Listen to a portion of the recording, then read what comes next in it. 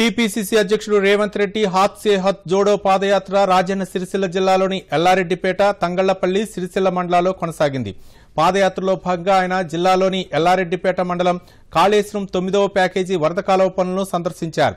Project పనుల్లో జరుగుతున్న జాప్యంపై అడిగి వివరాలు తెలుసుకున్నారు. ఈ సందర్భంగా మీడియాతో మాట్లాడుతూ సిరిసిల్ల ప్రాంతంలోని కాళేశ్వరం ప్రాజెక్టు తొమ్మిదవ ప్యాకేజీ పనుల్లో రాష్ట్ర ప్రభుత్వం అవినీతికి పాల్పడిందని రేవంత్ రెడ్డి ఆరోపించారు.